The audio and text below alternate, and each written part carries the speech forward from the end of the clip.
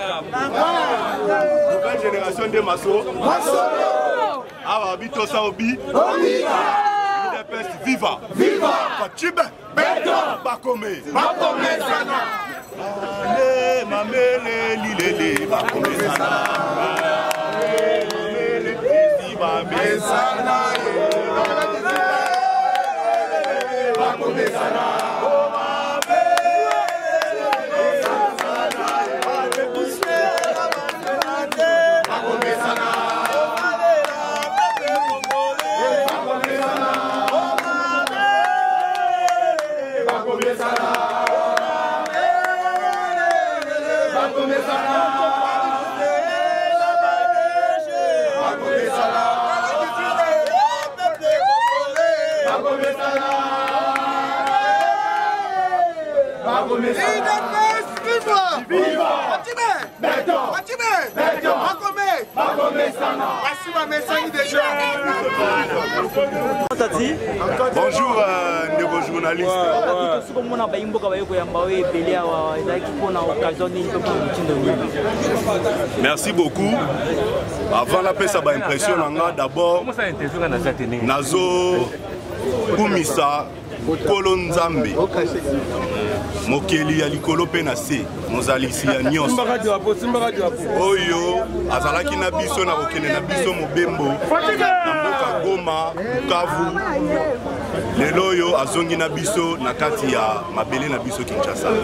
topesi ye merci mingi lelo soki omoni base eza reni omoni bandeko ba collègue président cellulaire oyo baza awa lelo c'est juste parce que basuetaki koaccueillir baye bango baye ya bango bakendaki mosika en occurrence le coordonnateur ya collectif ya bamédecin congolais pour le changement qui est également conseiller du ministre de la santé docteur josé casimir oyo aza mopanzi na nga na ngai docteur tati punga conseiller mpe ya ministre et puis euh, coordonnateur ya collectif ya baprésident cellulaire na fédération ya mwambaamboka oh oyo tatizai moko owiti na niveau ya este mai mboka baza mpe bakozwa mpe information bio ya politique sur terrain boni boni climat politique na niveau ya parti este eza ndenge nini tant que le président de la république félix antoine tshisekedi tshilombo azokumba mboka oyo tozala rassure tolala boli ya babe ya babebe kimia ezali kimia ezali toyeli bino information a chaud c'est vrai que mwa banungunungu ya mike elingaki esalema mais mokonzi adiligentaki rapidement équipe oyo ya ba vice premier ministre mibale bakitaki kuna na ndeko na bango ministre ya, uh, ya droits humains akomaki sur terrain mpe bakotisaki kimia na minite oyo totiki goma en sécurité la ville est calme kavu calme bato bazovaki na baoccupation na bango faci nde makambo tolobi ke ye aza lemanasi sans faci le congo est un désert ah, mais quand les gens disent que quand quand les gens disent que Fatshi n'a pas un discours à kolakisa bayimboka ya est ya goma kuna etake yo moko quelles sont les réalisations oyo omoni ya malongo oyo na parti est eloko nanu ya makasi oyo namoni goma aujourd'hui c'est parmi ba plus belle ville ya kinshasa ya plutôt ya congo goma c'est parmi ba plus belle ville ya congo nzela kitoko infrastructure kitoko urbanisation kitoko je te dis que mosala ezosalema oyo oh, biso toyokaka wana oyo tokanisaka ke kuna ezalaka balion na baours na baéléphant batambolaka eza lokuta biso tovivre sur terrain mboka wana en tout cas napesi bandeko nyonso ya goma déjà mbote ebele baoyo bayambaki biso baoyo bapartageaki biso na biso temps goma bukavu topesi bango mbote ebele toza sur ke bakocontinue na elan wana pour l'émergence d'un Congo fort et prospère. Voilà, moi, je vous ai fait un voyage. Euh, bon, bon état de siège à niveau pour la partie Goma. Euh, bakonzi bazali ma voix euh, tolobi ke bakonzi bazali komema mboka na ndenge ya vision ya fati ya félix antoine tsheke tshilombo oyo azali kogire sur l'intégrité territoire national makambo nyonso ezali kotambola malamu bato bazali kovake paisiblement quand les gens disent que babu état de siège ebiwei kuna non non non non non wana eza ba discours ya lokuta eza ba discours ya lokuta goma eza ya faci kivu eza ya faci dans sa globalité donc kuna soki oye na discours mosusu okozwa ya yo bato nyonso population eza très content na état de siège et dire que l'état de siège c'est une mesure prise par le chef de l'état qui a une vision pour la nation et c'est lui qui sait quand est-ce qu'il va décider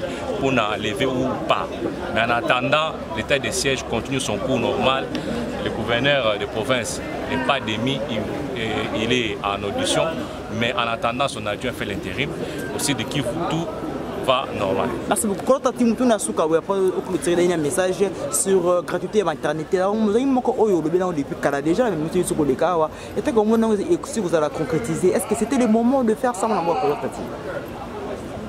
eloko ya malamu ezali biso bacongolais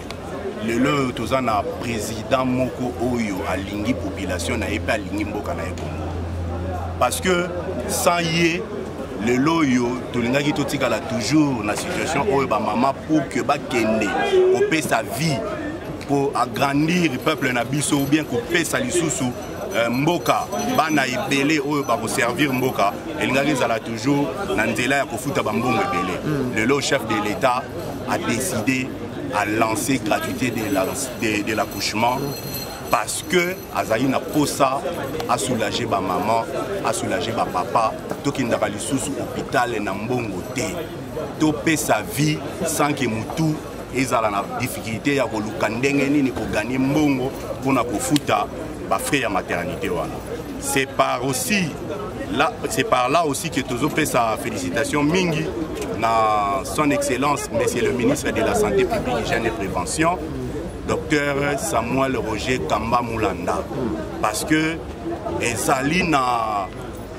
makasi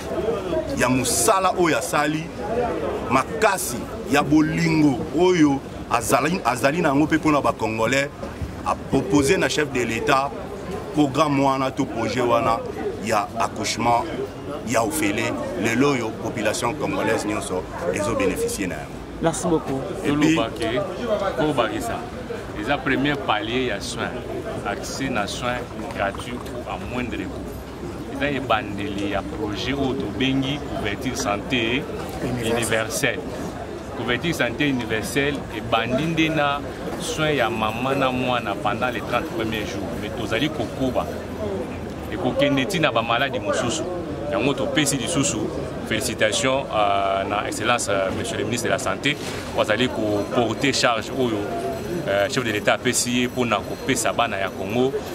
baswe ya malamu ya kitoko topesi mpe lisusu uh, merci mpe félicitation mpe encouragement na mokonzi oyo azali kokamba oyo azali kokumbela parti la machine politique idps oyo ezali kosala ete lelo bamama bakende kobota ya ofele mpo idps au pouvoir nde changement merci beaucoup dernier mot tout clôturer tozongi tokendaki mission oyo ezalaki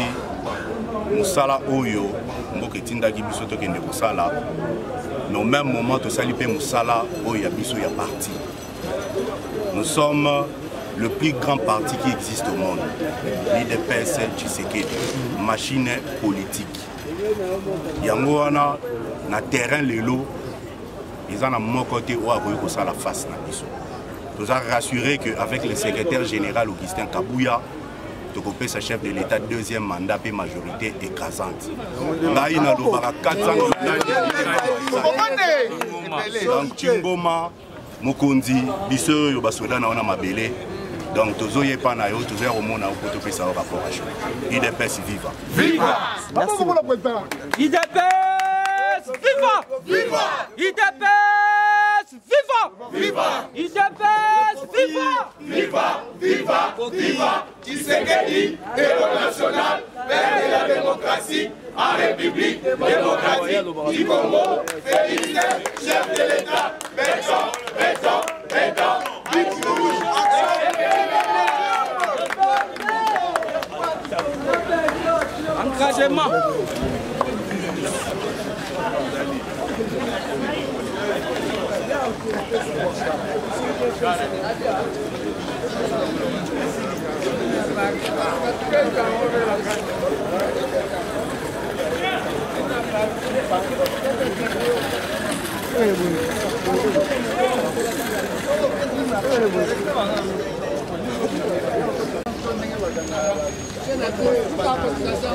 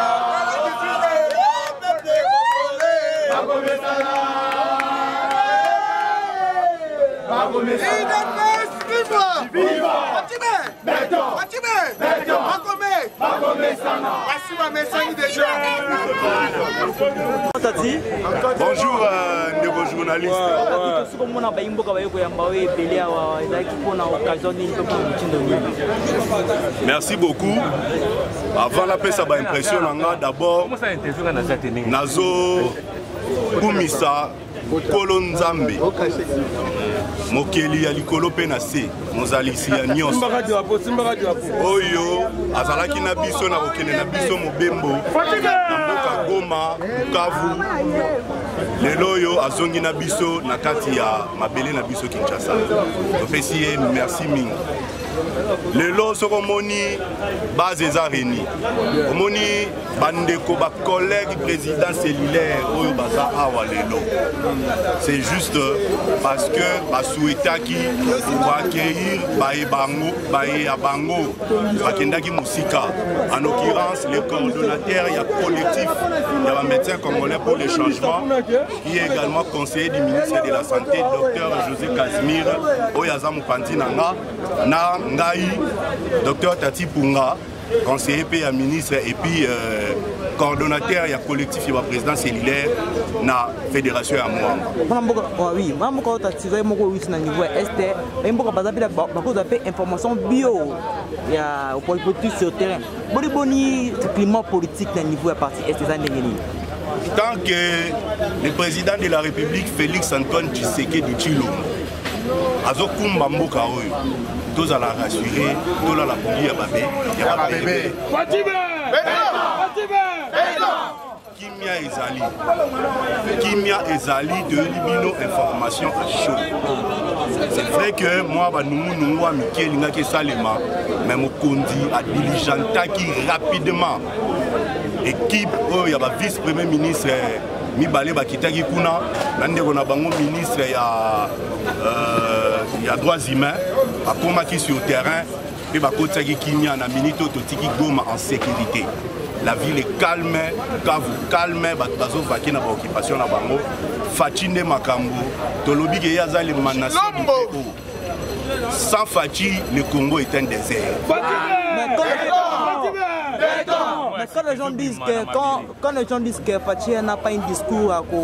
kolakisa bayi mboka ya est ya goma kuna etake yo moko quelles sont les réalisations oyo omoni ya malongo oyo na parti est eloko nanu ya makasi oyo namoni goma aujourd'hui c'est parmi ba plus belle ville ya kinshasa ya plutôt ya congo goma c'est parmi ba plus belle ville ya congo nzela kitoko infrastructure kitoko urbanisation kitoko je te dis que mosala ezosalema oyo oh, biso toyokaka wana oyo tokanisaka ke kuna ezalaka balion na baours na baéléphant batambolaka eza lokuta biso tovivre sur terrain mboka wana en tout cas napesi bandeko nyonso ya goma déjà mbote ebele baoyo bayambaki biso baoyo bapartageaki biso na biso temps goma bukavu topesi bango mbote ebele toza sur ke bakocontinue na elan wana pour l'émergence d'un Congo fort et prospère. Voilà, moi, je vous ai fait un voyage. Euh, bon, bon état de siège à niveau pour la partie Goma. Euh, bakonzi bazali ma voix euh, tolobi ke bakonzi bazali komema mboka na ndenge ya vision ya fati ya félix antoine tsheke tshilombo oyo azali kogire sur l'intégrité territoire national makambo nyonso ezali kotambola malamu bato bazali kovake paisiblement quand les gens disent que babu état de siège ebiwi kuna non non non non non wana eza ba discours ya lokuta eza ba discours ya lokuta goma eza ya faci kivu eza ya faci dans sa globalité donc kuna soki oye na discours mosusu okozwa ya yo bato nyonso population eza très content na état de siège et dire que l'état de siège c'est une mesure prise par le chef de l'état qui a une vision pour la nation et c'est lui qui sait quand est-ce qu'il va décider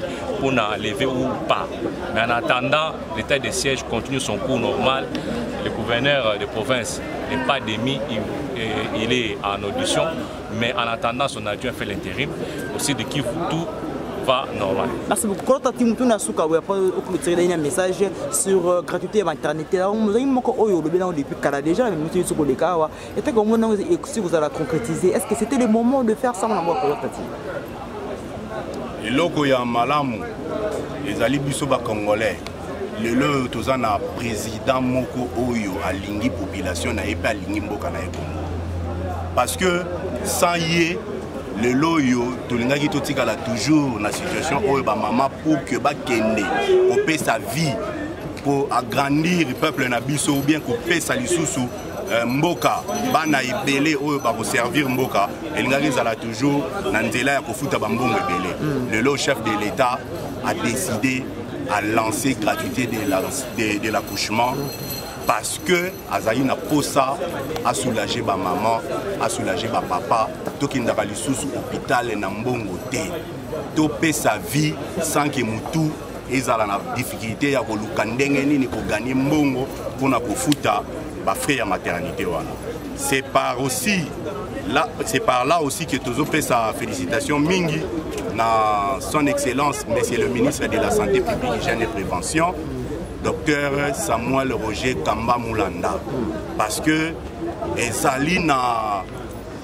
makasi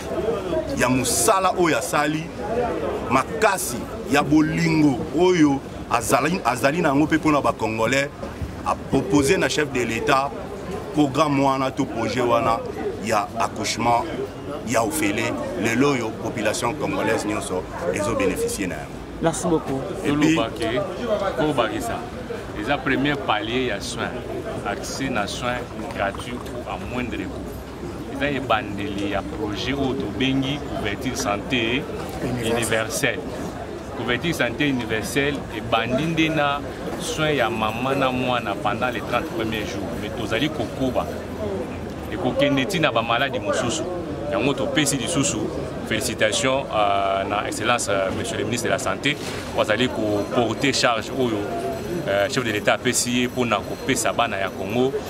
basoin ya malamu ya kitoko